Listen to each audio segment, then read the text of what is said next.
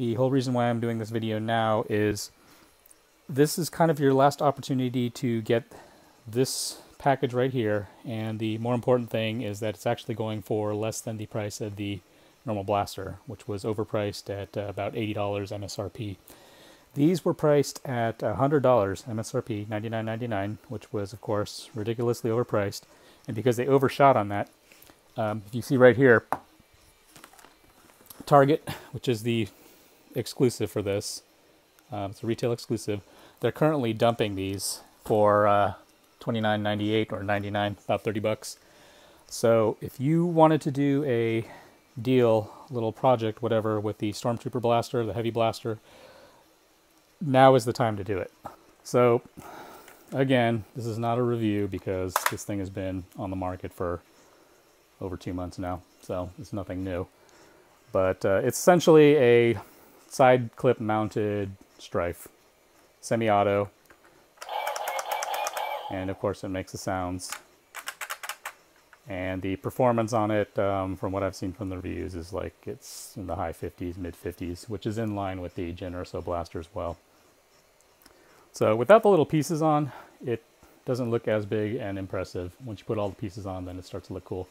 But that is, again, not the point of this review. What we're going to do is uh, we're going to crack it open, and uh, we're not just going to swap the motors out and switch it to lithium polymer power, but uh, let's, let's turn this thing into an actual machine gun, because there is no machine gun that I used in the service that was um, semi-automatic. So let's make this thing full automatic. Okay, so we have uh, cracked this thing open, stripped everything aside. That's all a pretty straightforward process. If you don't know how to unscrew a blaster, um, this tutorial is probably not going to be terribly helpful for you anyway, so we're just going to skip that part. And this is the exposed interior, which again, if you've seen um, mod guides, these are already out there. Uh, it's pretty much your bread and butter. Again, like I said, this thing is just a really large Stryfe, and um, if you want to modify the performance so you're not getting that 55 to 60 feet per second, then uh, really all you're going to do is swap out the stock switches for micro switches. You're going to swap the stock motors out for whatever motor of your choice. Um, there's all kinds of, of good motors to choose from currently, so that's one thing that uh, that's one thing that's not not a difficulty to do when it comes to modifying the performance of these blasters. This is the sound card. So obviously we want to have this thing going like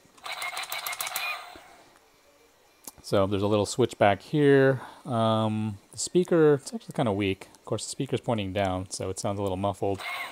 But uh, I want to keep all that in there. When I modified all the Jyn Erso Cassian Andor blasters, I left all of these sounds and uh, visual effects in, intact because we also want that scrolling effect, which is kind of cool. And it'll look even cooler when you paint that barrel shroud black because it'll give you a nice high contrast. But um, looking here, you know, I mean, if that doesn't look like a Stryfe arm, then I don't, I don't really know what does. Okay, you can see the arm's a little bit thicker.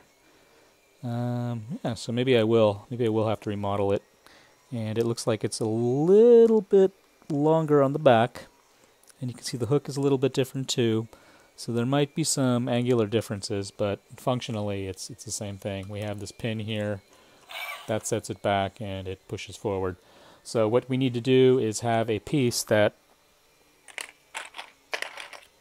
is going to have the, um, the gear rack. Again, this should look really familiar if you've seen the Auto Stryfe videos. Um, I actually kind of got tired of looking at it because I've done so many of them. But uh, this piece is essentially going to go there, and in this recess there, we may have to clear out this uh, speaker holder to something smaller, but this is kind of where the whole beauty of 3D design and printing comes into play. Now, if you don't have a 3D printer, that's a little bit of a problem because obviously there are going to be some custom parts involved in this build. But uh, these days, printers are so pervasive and cheap that if you don't have a printer, then you should probably know somebody who who does. And in fact, um, this is kind of a it kind of came as a quasi surprise, but maybe not too much of a surprise. If you go to um, decent public libraries, they will actually have 3D printers where you can when you can get time on that. So there are public services that will allow you access to get 3D printers. So after I do my my modeling for the piece, custom pieces, because I don't think it's going to be drop-in easy to use. Um, the mounting points are going to be a little different because the mounting plate that I designed for the Stryfe is not going to fit in here because that was custom made for that shell. But just looking at this right now without even touching a screw and pulling anything out, um, I'm 90% sure that I can make an adapter for for uh, for this that'll allow it to be automatic. So here's a quick look at how the mount works. So we can get that in focus. So this is version 4 of the mount, and uh, it's essentially a friction fit. So that just drops in like that, and that's how it mounts. So you can see it's pretty stable. And it's drop in, no shell modification required, and no fasteners required either. It just kind of clips into place using these retention pegs.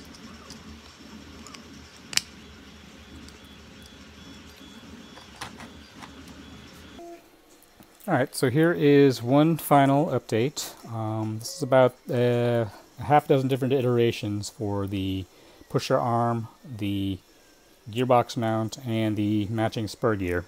So all of these were modeled from scratch to make sure that it specifically fit inside this without having to do any kind of shell modification, well, minor shell modifications, mostly to the uh, this mounting bracket here. And when we pull this apart, you'll be able to see that there's a little recess cut out here, and then two of the support points had to be removed to accommodate the gearbox itself. So that's pretty much it for the hardware parts.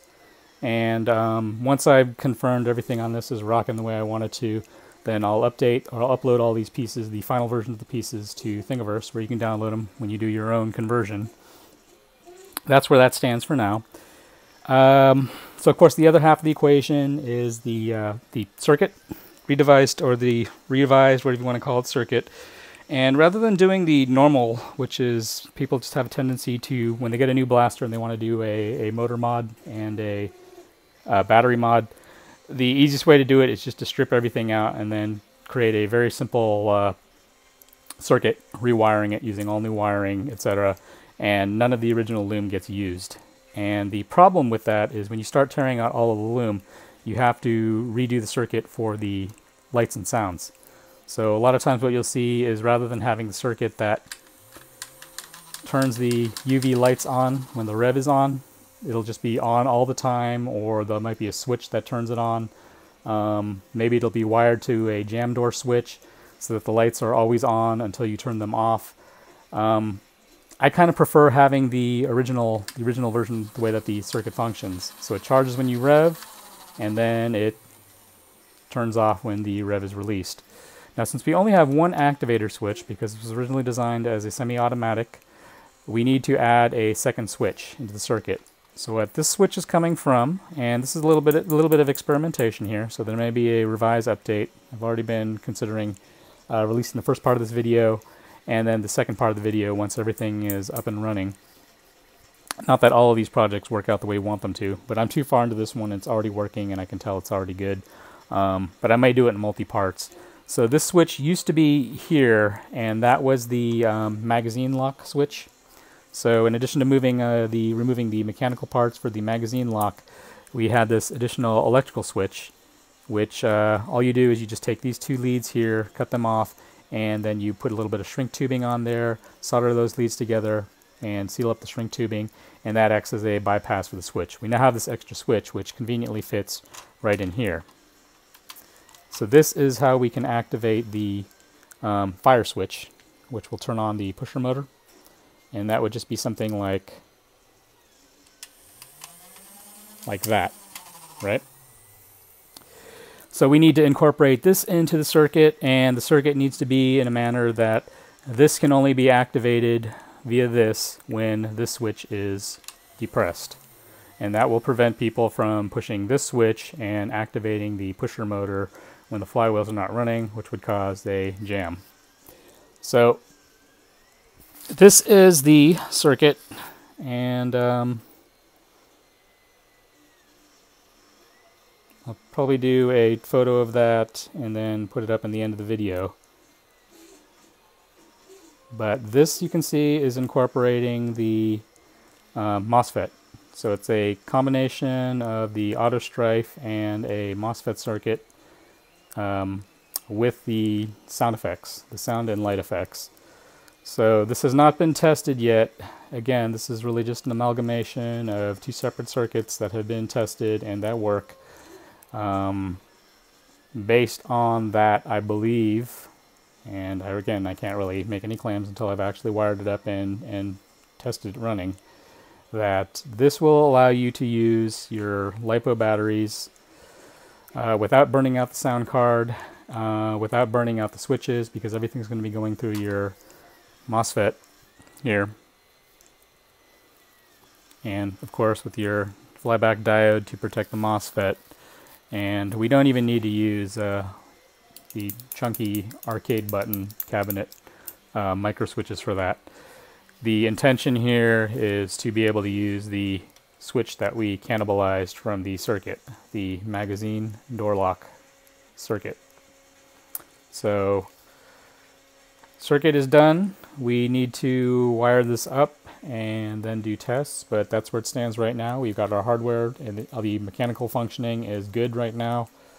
All we need to do is our circuit modification and see whether or not we can uh, keep all that stock functionality in place without burning out um, the all-important sound card. And to a lesser extent, the LED array and the UV lights for the glow strike function. Alright, so let's just do uh, one final test here on the cycling, just to show that all of the tolerances and parts that we've modeled are fully functioning.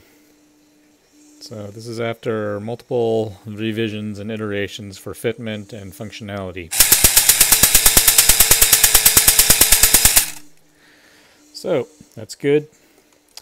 And uh, that was running off of a uh, 1S battery and this is a I want to say this is a 20C battery so 20C output and we'll be using a graphene 2S battery and those will be 65C so considerably more current and voltage will be going through that feeder via the MOSFET circuit that uh, was uh, previously outlined. So from there, let's uh, move on to getting that circuit, and then we can see what we've got at the end.